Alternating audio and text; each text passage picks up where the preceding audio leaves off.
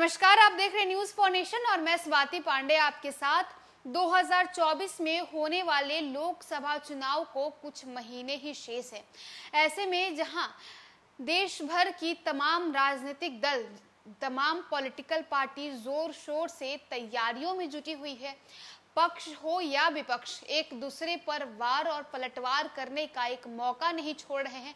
एक दूसरे पर पर को चैलेंज करने का एक मौका नहीं छोड़ रहे, एक दूसरे को शिकस्त देने का और पलट पटखनी देने का एक मौका नहीं छोड़ रहे। अब ऐसे में जहाँ चुनाव को लेकर के अब माहौल सेट हो रहा है तो वहीं दूसरी तरफ़ बता दे कि तमाम जो सर्वे करने वाली टीम जो है, वो भी एक्टिव हो गई है। पॉलिटिकल सर्वे करने वाली टीम जो है वो एक्टिव हो चुके हैं और इस बार, यानी 2024 के लोकसभा चुनाव में किसे कितनी सीट हासिल होगी?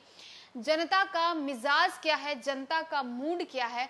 इस पॉलिटिकल सर्वे के ज़रिए आइए जानते हैं। बिहार में लोकसभा की 40 सीटें हैं। 2019 की बात करें तो जदयू और बीजेपी ने उनतालीस सीटों पर जीत दर्ज की थी। उस समय सीएम नीतीश कुमार भारतीय जनता पार्टी के साथ थे।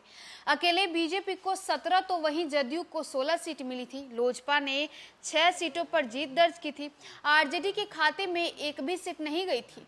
वहीं कांग्रेस ने एक सीट पर जीत दर्ज की थी।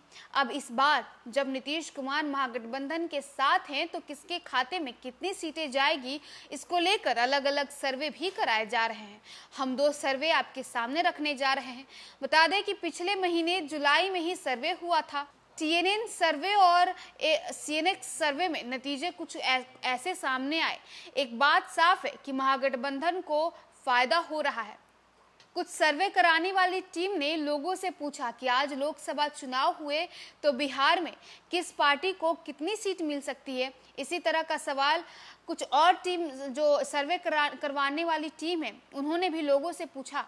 अब दोनों के आंकड़े अलग अलग समझाते हैं। आपको हम पहली जो सर्वे की टीम है उसके अकॉर्डिंग बताएँ तो महागठबंधन को 16 से 18 सीट मिल सकती है। एनडीए को 22 से 24 सीटें मिल सकती हैं। अन्य को शून्य सीटें मिलने की संभावना है। अगर हम टीम बी के सर्वे की बात करें तो आरजेडी को सात सीट मिल सक रही है, बीजेपी को बीस सीट मिल रही है, नीतीश की पार्टी जदयू को सात सीट, कांग्रेस को दो सीट मिल रही है। वहीं अगर हम लोजपा रामविलास की बात करें तो उसे दो सीट, आरएलजेपी यानी पारस गुट की अगर बात करें तो उसे एक सीट और हम की अगर बात करें तो उसे भी एक सीट मिल रही है। यानी टीम ए के सर्वे के हिसाब से एनडीए को 24 सीट, जबकि 16 सीटें महागठबंधन को जाती दिख रही है। और टीम बी की अगर हम बात करें तो उसके अकॉर्डिंग महागठबंधन को 16 से 18 सीटें दी गई है। और अगर और एनडीए को 22 से 24 सीट दी गई है। दोनों सर्वे में कुछ मिलते जुलते आंकड़े सामने आए हैं। तो देखिए, सर्वे करने वाली टीम के आंकड़ों के हिसाब से समझे तो महागठबंधन को एनडीए पटखनी दे सकता है।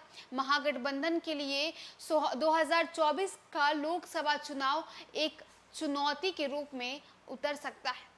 तो चलिए, फ़िलहाल तो इस खबर में बस इतना ही और भी वीडियोस और अपडेट्स के लिए आप देखते रहे न्यूज़ फॉर नेशन।